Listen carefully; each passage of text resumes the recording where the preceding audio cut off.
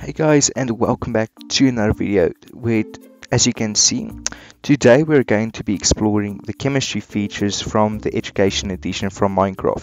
So yeah I have my lab coat on and everything so let's get started.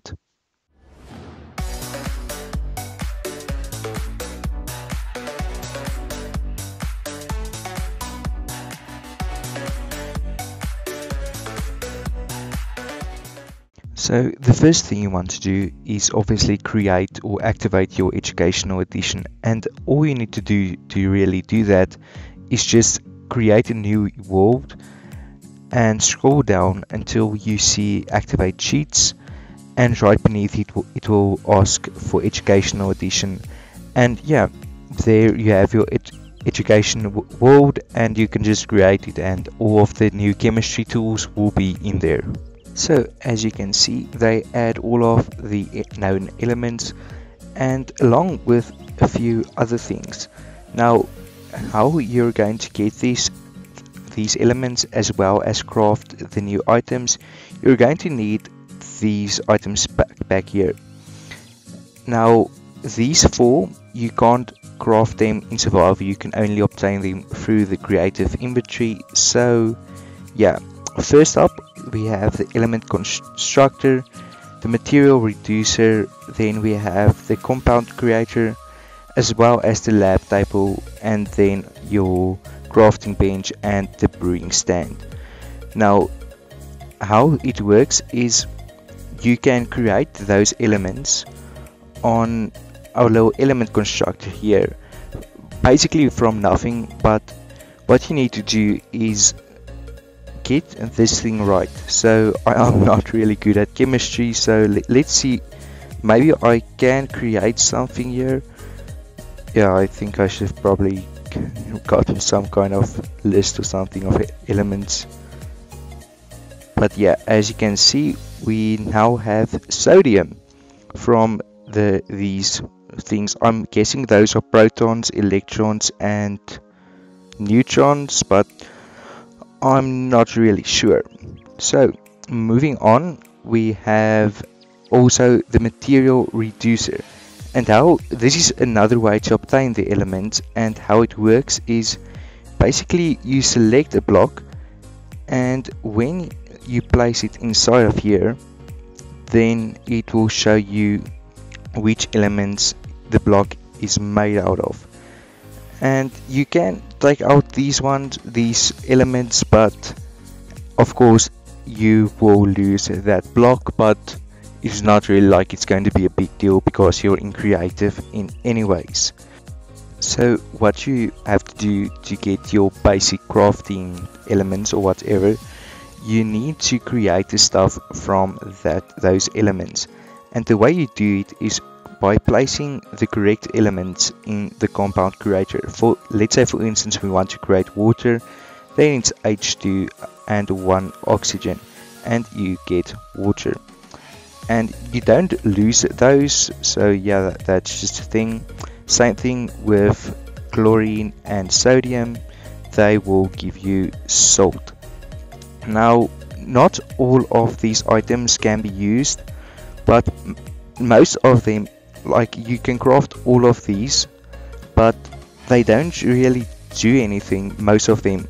Like latex you can use to craft some things but then there's stuff like potassium and soap where they're just there but they don't really do anything. Then of course you can also craft some of the natural elements such as charcoal ink and sugar and of course the water but quick disclaimer, you can't actually place the water or anything or interact with it. Now, the things you use most are these, which are the chloride. And you'll see later we're going to use them as kind of a type of a dye, but not really a dye. You'll, you'll see later on. So, let's move on to actually creating stuff that you can place down and actually use. Now, the first four things we are going to be taking a look at are these four new potions. The tonic, the eye drops, the elixir, and the antidote. Now, something that's pretty random in my opinion is the fact that you're drinking the eye drops even though they're supposed to go into your eyes but I mean I, am not really blaming them because otherwise they had to come up with a new animation anything but anyways how you're going to craft the antidote? Is by using silver with an awkward potion? And what the antidote actually will do is it will get rid of poison. So if we quickly give ourselves a poison effect here if I can just get the button and we drink the, this then as you can see the poison gets immediately healed and we end up with a normal glass bottle just like any other potion. Then the elixir up next will actually heal you of weakness. As you can see if we press this button we get weakness and as soon as we drink the elixir the weakness is gone. Now I'm not really sure why you would want to use them because you can just use milk too but I guess it's the thought that counts making it more realistic or whatever now the eye drops they're actually kind of useful since they will cure you of blindness which is kind of obvious. As you can see it's dark I can't really see anything. I drink the eye drops I don't put in my eyes but anyway I can now see clearly again. And finally we have our tonic which is crafted with Bermirth or something. I'm not really sure how to pronounce these things but if I remember correctly, then it should cure you of nausea. Now, I'm not really sure even how you obtain these things in a survival world, but you can cure them should you want to. Now, the eye drops are crafted using cobalt and the awkward potion, and the elixir by using, oh no, sorry, the Elixir is using cobalt and an awkward potion and the eye drops is calcium with the awkward potion. So by using this sodium hypochlorite, which I'm most likely pronouncing wrong, along with three waters inside of our little lab table here, will create bleach. Now I'm not really sure why you'd need this, but basically what it will do is let's say you have a blue bed and you want a white bed instead then yeah you can do that now simply by placing in your blue bed in a crafting bench not in my inventory. Really? You're sure you don't want to go into crafting bench? As I was saying you take the blue bed and throw some bleach on it and voila, you now have yourself a white bed should you want one. Now by using iron along with charcoal, salt and water you can create the next thing which is the heat block and the only purpose it really has is it melts blocks just like torches would normally do if we place our ice and our snow here then it should melt it if it is given the time. Now as you can see it is an animated block and it okay I did not think this through when I constructed this. Now the concrete is wet. But anyways as you can see it is an animated block and by the looks of things you cannot melt the snow blocks only the ice now, I'm not really sure why you would want to go through the trouble of getting all of these things if you can just use a good old torch and the same thing will happen. But moving on, by using four sodium acetate, you can create one of these, the ice bomb, which is probably one of the coolest things. It's basically a snowball but with the Frostwalker powers. So if we throw this, then you can see it will freeze the water in a 3x3 area. Now I can I can really see that this thing can be used like when you make a map or some kind of mini game. I can see people using this but otherwise it's also pretty useless just like all of the other features from the chemistry kit. Something that is pretty cool though is this, the super fertilizer and it is crafted using the phosphorus or something like that along with ammonia and that will give you one super fertilizer. Now this is basically the same as bone meal but from what from what I understand it is more powerful and will actually instantly boost the crops to like its fullest or the top growing growing thing whatever you want to call it. As you can see it instantly makes the crops harvestable as well as grow your trees. Now for our next couple of items we actually need it to be dark because first up we have torches. Now they're relatively easy to craft. You just need a torch and then some chloride. Now the different kinds of chloride will give you different colored torches. Now what's kind of sad about them is they they they're just like normal torches and except the color of the actual torch but the color of the light and stuff like that they they don't change.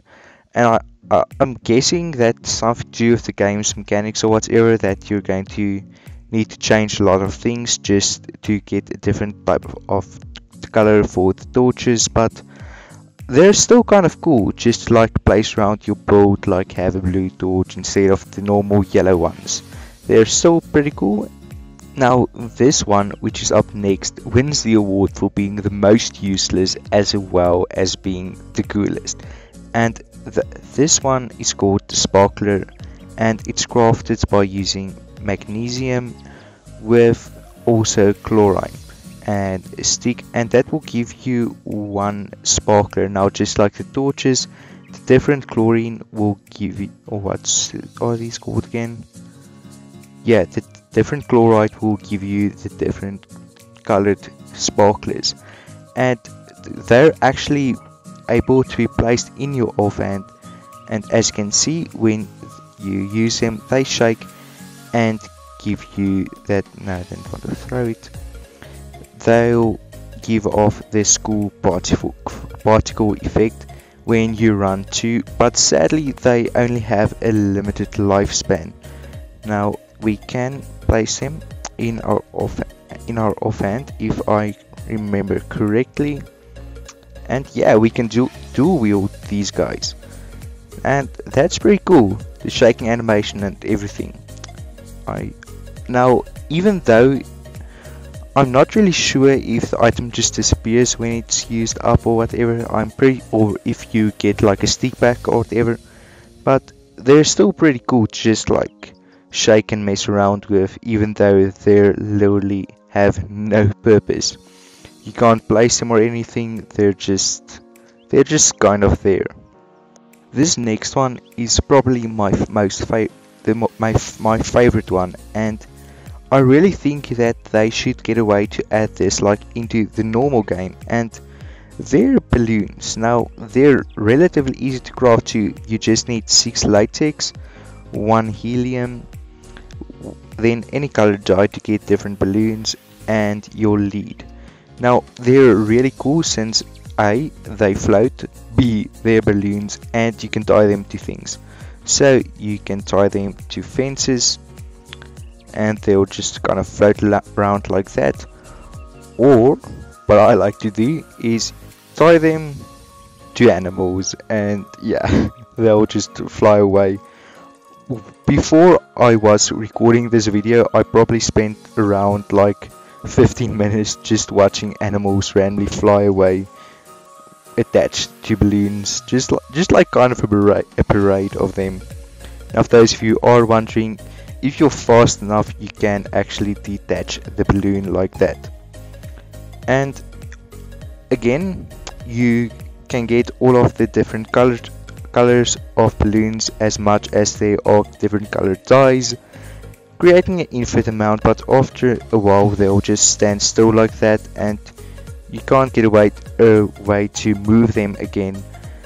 And that's kind of a shame. They should have like some kind of waving effect like the seagrass where they're just constantly shaking no matter what.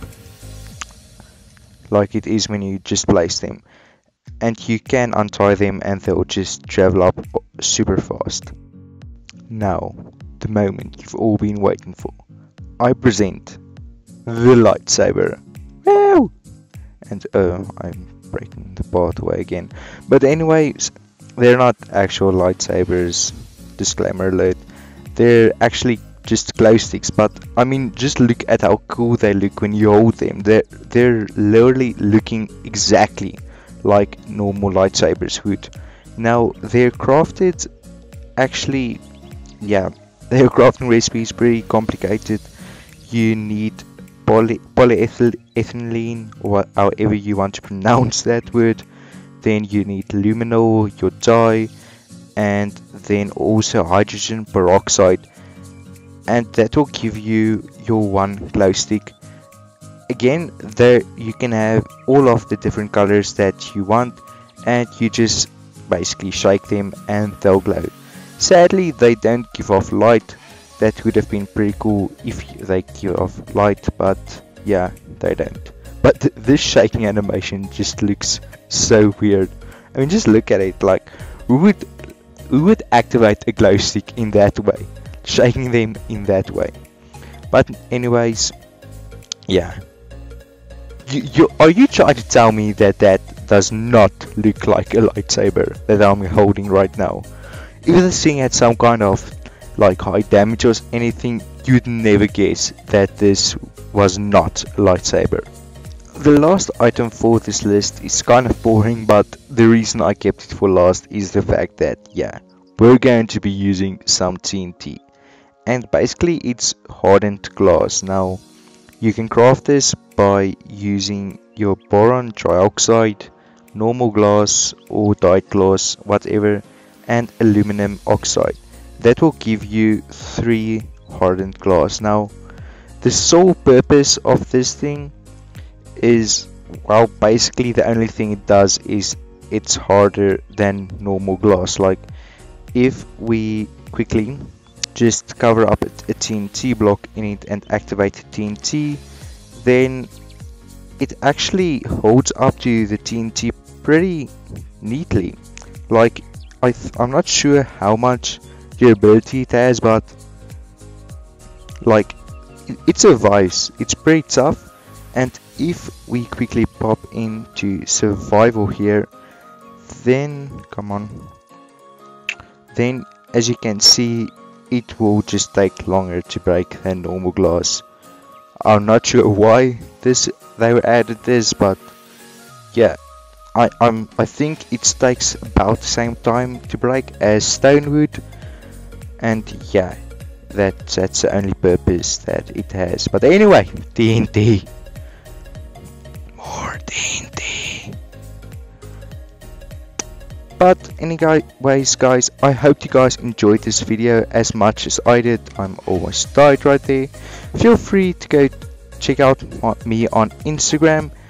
And also, yeah, one of my friends insisted I give him a shout out for some reason. He doesn't have a channel or whatever. But yeah, I just want his name to be said on the internet. So Owen, hopefully you're watching this and I'm not sure why you don't just create an Instagram account or something if you want your name out there. But yeah, I'll see you guys again next time with a brand new video.